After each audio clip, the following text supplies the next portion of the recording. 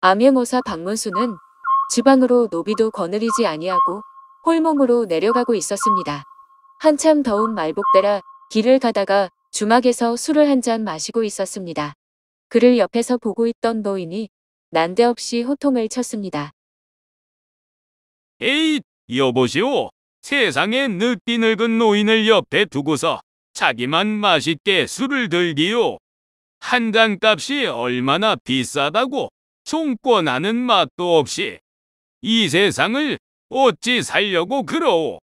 원, 철해가지고 어찌 큰일을 할까? 즉, 사람이 옹졸하기는 원. 이런 봉변이 있나? 내 돈 가지고 내 술을 먹는데 시비를 하고 나서 얻어먹는 건 무슨 경우인가? 라고 박어사는 생각했습니다. 제가 한 잔 술값만 있습니다. 아니, 콩 한 조각도 쪼개 먹는다는 말도 못 들었는가? 하시는 말씀마다 구구절절 오르시니 참으로 미안합니다. 한 잔을 올리겠습니다. 이런 일이 있은 후에 두 사람이 술을 마시는데 노인이 이런 제안을 하는 것이었습니다. 오는 정이 있으면 가는 정이 있다고 이번에는 내가 한 턱을 걸게 내리다. 자, 가서 큼직한 여관에 들어서 배불리 마셔봅시다. 이리하여 같이 길을 가다가 어느 여관에 들었는데 노인이 하는 말이 우리는 안주 없는 술은 먹지 아니하니깐 힘껏 차러 오시오. 이러지 아니한가. 저런 돈이 있다면 아까 왜 나에게 인색하게 술 한 잔 안 산다고 호통을 쳤을까? 자기가 가지고 있는 많은 돈을 가지고 자기가 사 먹을 일이지. 주모, 내가 꼭 할 말이 있는데 노인은 술 한 잔을 마시며 뜸을 들인 후 발을 이었습니다. 오늘 저녁 당신은 죽을 거야. 오늘이 이 세상 끝이다 이 말이야. 허 큰일 이루군. 이러자 주모는 처음에는 놀랐으나 불쾌한 기분이 들었습니다. 그러더니 불안해져 마침내 살려달라고 매달렸습니다. 노인이 장난삼아 남의 생명을 농담한 것이 아니라고 본 것이었지요. 아름다운 얼굴에 사색이 가득하였습니다. 살려면 돈 3천냥을 내게 지금.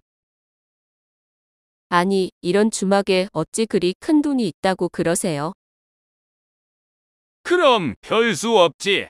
오늘 저녁에 죽어보라고. 나는 도울 수가 없구먼. 돈이 중한가? 사람 목숨이 중한가? 저기 윗목을 하고 묻어둔 항아리에 돈이 삼천냥이 더 있구먼 그래. 죽고 나면 그 항아리에 가득한 돈이 무슨 쓸모가 있을까? 서방 몰래 딴 주머니를 찬 것이 삼천냥이라. 왜 따로 돈을 모아 놓았을까? 각시가 이심이면 편심이구먼. 서방이 참 좋아하겠네. 이러니 여자가 사시나무 떨듯이 떨면서 살려달라고 매달렸습니다. 오늘 저녁 잠이 들 때 누가 와서 문을 열어달라고 하거든. 절대로 열어주면 안 되네. 손님을 받으면 당신은 죽게 되어 있어. 죽어가는 소리로 문을 열어달라고 해도 막무가내로 열어주지 마. 알겠어? 이윽고 밤이 되자 노인 말대로 어떤 남자가 와서 죽어라고 문을 두드렸습니다. 주모, 길을 가는 나그네인데 하룻밤 좀 묵읍시다. 제발 문 좀 열어보시오. 주모, 제발 열어달라고 사정하고 애원하고 협박을 하였습니다. 주모는 노인의 말대로 절대로 문을 열지 아니하였습니다. 이전 같으면 마음이 약해서 문을 열어 주었을 것입니다. 주모는 노인의 말을 계속 떠올리며 꾹 참았지요. 오랜 시간이 흐른 후 마침내 그 문을 두드리던 남자는 지쳐서 가버리고 여자는 가만히 숨죽이고 있었습니다. 그 후 한시경이나 지났을까 서방이 들어왔습니다. 어디 간다고 나간 사람이 이 우밤중에 들어오는데 놀랍게도 시퍼런 칼을 들고 있는 것이었습니다. 놀라는 아내에게 서방이 입을 열었습니다. 당신은 너무 예뻐. 그리고 마음이 너무 약해. 게다가 은근히 제 인물 자랑을 하지. 그러니 주변에서 당신에게 은독을 들이는 놈이 한둘이 아니야. 이렇다면 네 집 서방이라도 불안할 거야. 반반한 여편네를 데리고 사는 놈의 심정을 모를 거야. 속담에 이르기를 마음 해픈 과부가 한 동네 시아버지가 열둘이라고 하지 않아? 내가 그동안 자네 품행을 지켜보았지. 여차직하면 이 칼로. 그런데 내가 오해했소. 오늘 저녁에 자네를 보고 말이야. 미안해. 이렇게 사과를 하니 용서해주게. 한편 그날 박어사와 노인은 여관에 나오고 있었고 노인이 혼잣말처럼 중얼거렸습니다.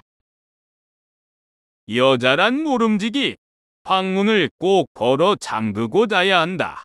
낮에도 그렇지만 특히 밤에는 낯선 사람을 절대 집에 들이지도 말고 만나려고 나가지도 말아야 하는 것이지. 박어사와 노인은 길을 걷다가 어떤 부잣집 앞을 지나가게 되었습니다. 주인을 부르는데 단체 나오지 아니하여 궁금해서 대문 안에 선뜻 들어섰더니 하인이 하는 말이 지금 이 집에 금지옥엽 같은 아들이 죽어서 경황이 없으니 이 돈을 가지고 저기 여관에 가서 유하십시오. 우리는 잠자리나 돈이 문제가 아니라 죽은 아이를 보는 것이 중요합니다. 보여주시오. 내 의술을 좀 안다오. 노인은 방으로 들어가서 이불을 젖히고 아들의 온몸을 찬찬히 살펴보았습니다. 어서 닭 한 마리 잡아오너라. 하고 큰 소리를 쳤습니다.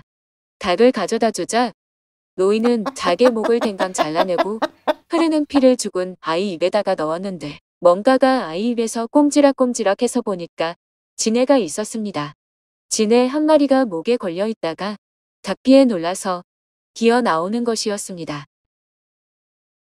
지네와 닭은 상극입니다. 이렇게 고마운 때가 있나. 자식 살려준 공으로 내 재산 반을 떼어주리다.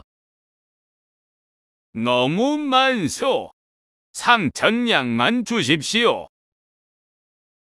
이리하여 노인은 6천냥 오음을 마련하였습니다. 박어사와 노인은 산중길을 걷다가 또 한 잔을 마시고 쉬는데 여보시오, 젊은이. 이 돈 잘 갖고 내가 올 때까지 기다리구려. 내가 지금껏 한 일을 보고 벌벌 떠는데 사실 떨만도 하지. 그러니 내가 시킨 대로 하라고. 그리고 옷 줍자는 벼슬 때나 했다고 욱줄거리지 말고 딱 한 사람 사정도 살피고 내가 오지 않더라도 그런 정신과 자세로 잘 살게나. 이러면서 노인은 어디로 가는 모습도 없이 사라져 버렸습니다. 이런 직후에 어디에서 젊은 여인의 목소리가 들려오는 것이었습니다. 비나이다, 비나이다, 미륵님께 비나이다. 아버지가 이골 이방인데 국고 6천냥을 축내는 것으로 인해 옥에 갇혀 있습니다. 오늘까지 바치지 아니한다면 우리 아버지는 죽습니다. 백일 치성을 이렇게 드리오니 미륵님 살려주소서. 아, 그러고 보니 저 돌미륵이 어디서 본 듯하구나. 그렇다면 바로 그 노인이 박어사는 괴짜 노인이 부린 조화들과 호련이 떠날 때 남긴 말들을 떠 호련이 떠날 때 남긴 말들을 떠올리며 미륵님이 이 처자의 소원을 이뤄주기 위해 나에게 나타났던 것이었구나 하며 이 이방의 딸에게 6천냥 어음을 주고 혈암을 살릴 수 있었답니다.